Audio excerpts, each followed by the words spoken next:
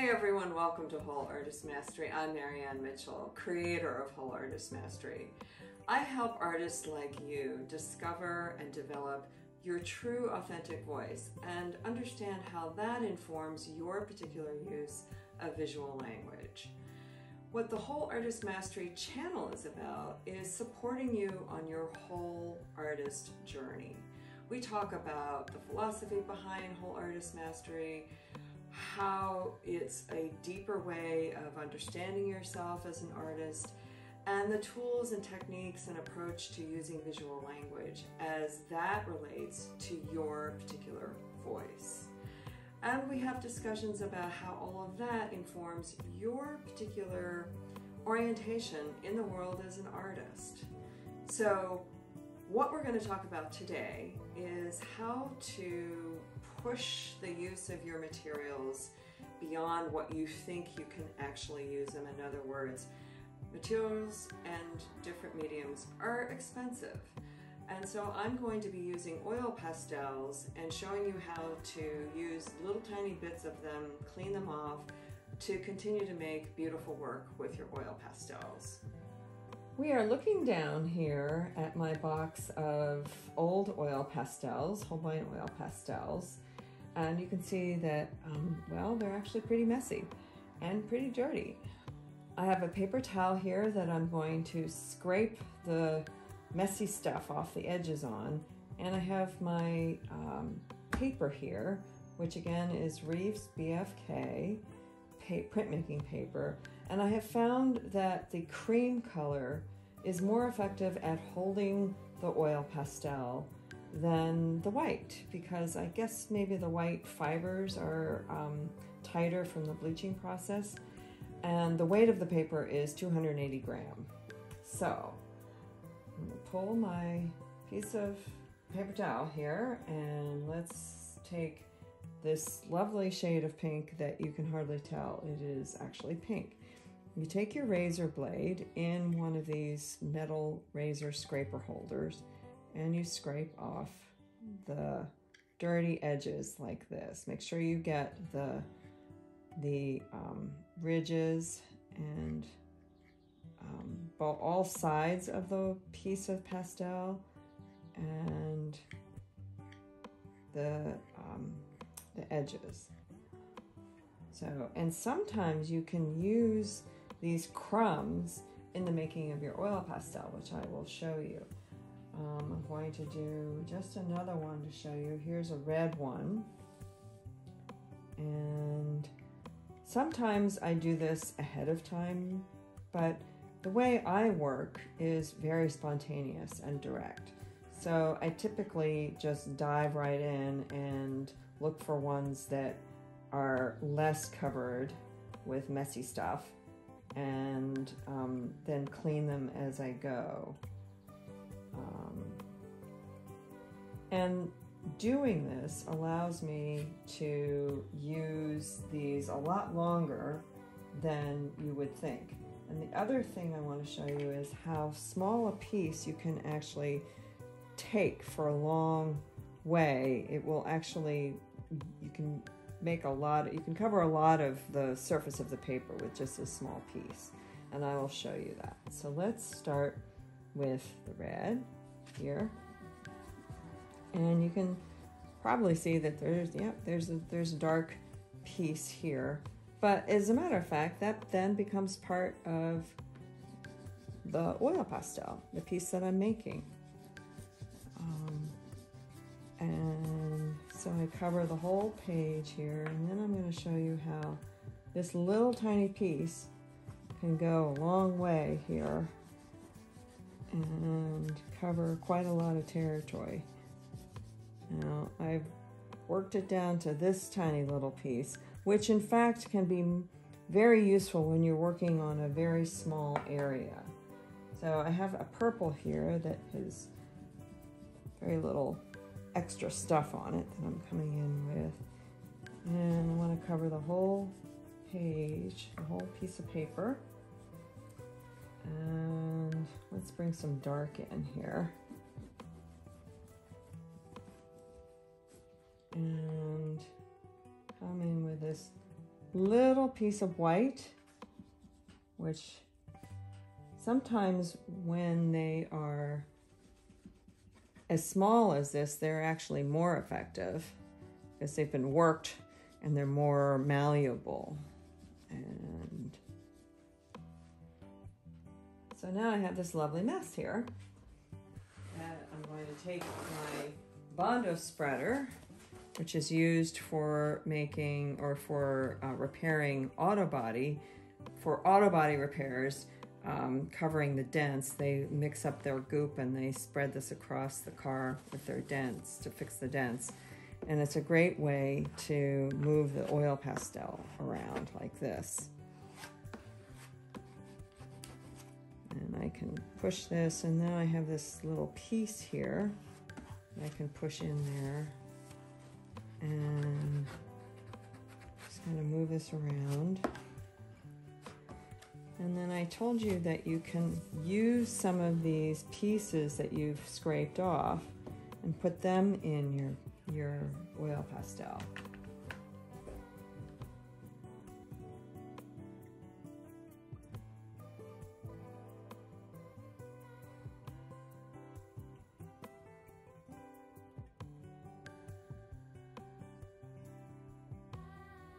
I also want to tell you that uh, the kind of tape that I'm using is gaff tape. And it is a heavy almost sort of like canvas like tape. And it it uh, does not ruin the paper. And it's very um, strong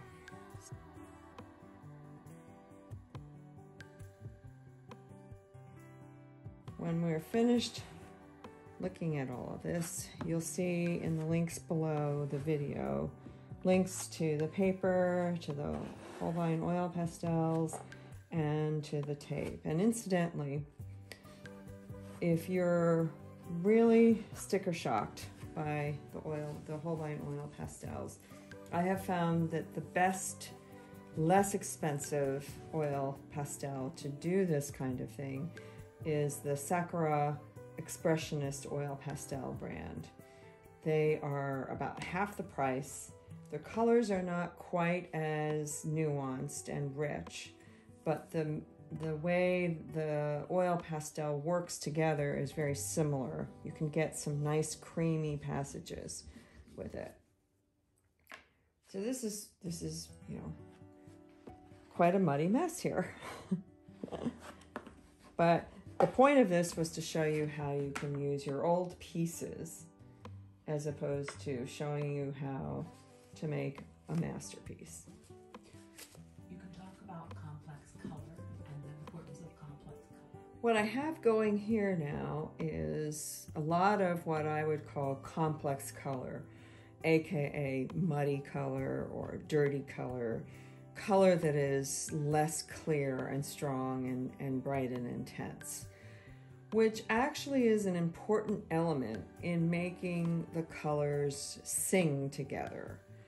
When you have muddy color paired with clear, intense color, then you start to get this dynamic play and what I call color depth, where the muddy color is um, holding the brilliance of the bright color and the bright color is being held by the muddy color.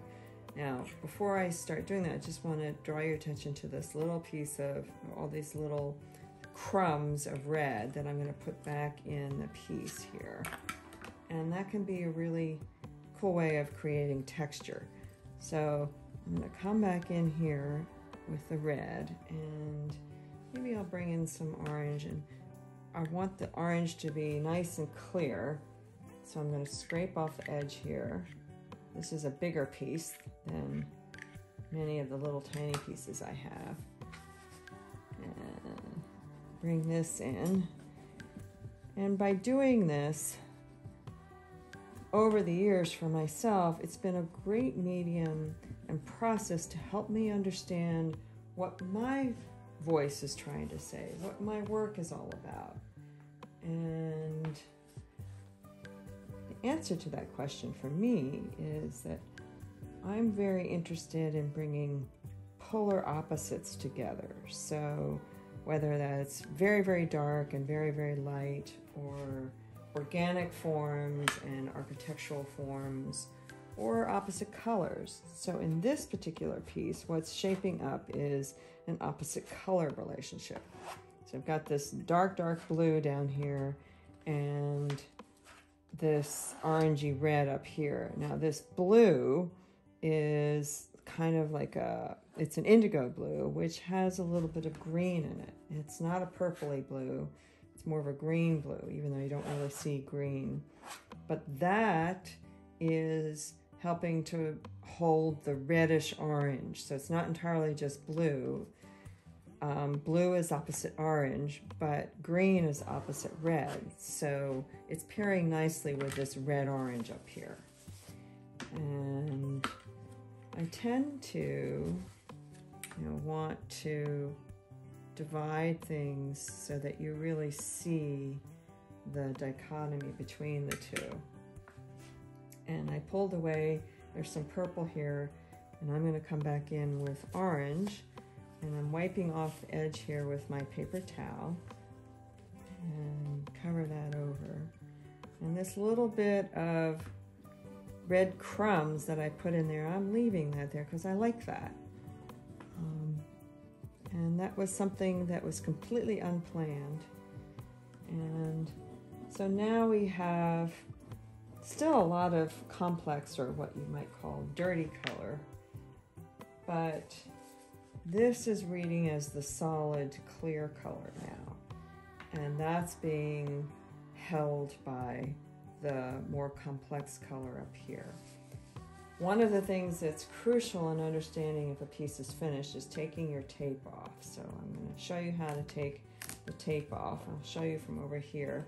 You take the corner, the inside corner, and you pull it from the inside at a 45 degree angle, like this, slowly, so that you're not going to rip into your, your image that you've created, your pastel piece And like this.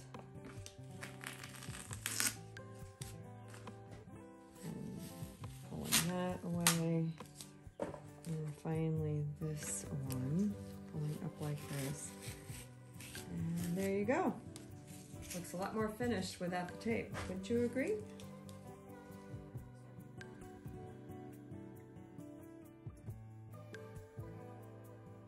Let's go over now that this is finished and the tape is off how this particular piece, to me, reveals what my work is about, what is inspiring to me, what's the source of my artistic vision and, and voice.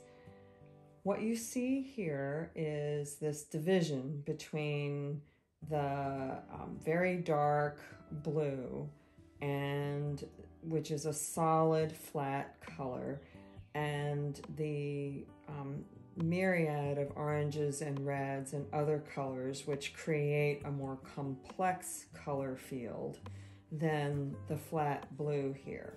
So right there is a juxtaposition of opposing uh, elements. This is a color that's the uh, this orangey red is opposite this green blue and or blue green it's it's blue but there's a little bit of green in it. So that speaks to the orange with a little bit of red in it because red is opposite green and orange is opposite blue. So those are two opposing elements that are coming together to create harmony together. Also the shape here is reminiscent of a lot of shapes that seem to continually recur in my work. And so that's something for you to pay attention to in looking at your work is are there certain shapes that continue to show up in all of your work? Are there certain color combinations? Like for me, orange and red is a very common color combination that shows up in my work, despite my sometimes trying to keep it out of my work. Um, and so by using these oil pastels in this abstract, you know, reckless abandon way, and then starting to create a composition once you've put a lot of colors down, it does help you see what comes out in terms of the kinds of shapes you use, the kinds of colors you're attracted to, whether you use lines, what kind of lines that you do. Like this is a very typical line for me. And whether you have high contrast or low contrast in color, and what kind of texture. Some people really want their work to be totally smooth. I enjoy having the texture here because for me, part of what my work is about is showing the layers of different um, levels of transparent and opaque color and texture, which to me signifies the layers of who we are as human beings. I also tend to, and I invite you to go take a look at my work at mariannemitchell.com. Much of my work has a focal point in the center. It's really hard for me to explain why that is um, because it seems to show up on a regular basis. I think it has to do with the fact that I'm searching for an anchor of hope in my work, that I can offer that to those who see it. And so I also find it an interesting challenge to have a central focal point be um, in play with everything else around it so that your eye doesn't get just stuck right here. And I think that this piece is effective at doing that because there are these other lines up here that draw your eye away from this focal point. The strength of this dark blue keeps you from staying right here. And there's this tiny little bit of white, actually it's light pink, which was completely unplanned but it makes this work. It makes it so that there's more light in here. And it actually feels like there's this little tiny sliver of light, which invites you to have hope. So let's recap what we talked about here. I wanted to show you my box of messy oil pastels and how you can reuse and repurpose older materials so that you don't have to continually go out and buy more expensive art supplies and how the choices that you make here can reveal something about your authentic artistic voice as you're making your work. So, I hope this was helpful. If you found it interesting, please subscribe to the Whole Artist YouTube channel and like this video. And then head on over to my website where you'll see online courses available. There are some interesting things about the Whole Artist Mastery philosophy, which is about owning your authentic voice, making compelling work because of your voice, and knowing how you want to show up in the world as an artist.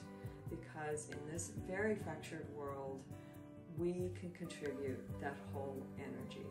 So, thanks so much for watching. I'll catch you next time.